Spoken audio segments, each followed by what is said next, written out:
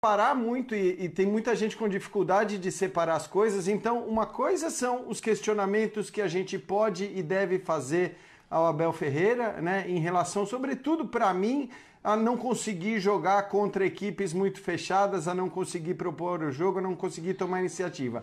Essa, essa, esse é o questionamento do ponto de vista tático. As críticas, e aí acho que são críticas mesmo em relação ao comportamento dele na beira do campo, para mim essas são necessárias, elas têm que acontecer e elas têm que continuar acontecendo. Mas a gente não pode, por conta da legitimidade desses questionamentos e dessas críticas, ignorar a parte que diz respeito a gente, que eu acho uhum. que é uma parte indiscutível.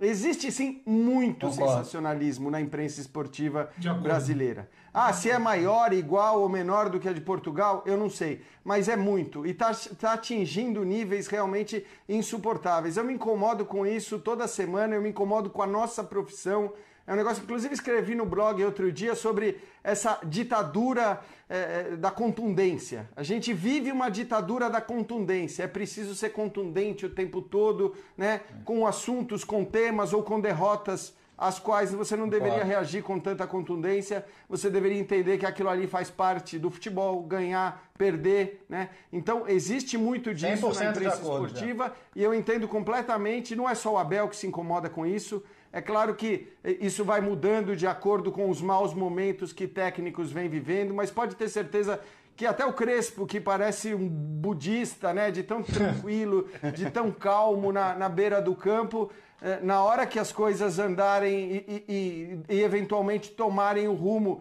que tomam para todos os treinadores, invariavelmente no Brasil, com pressões insanas e absurdas e, e, e, totalmente fora do contexto em relação a derrotas, ele vai acabar tendo a mesma reação, vai acabar não suportando.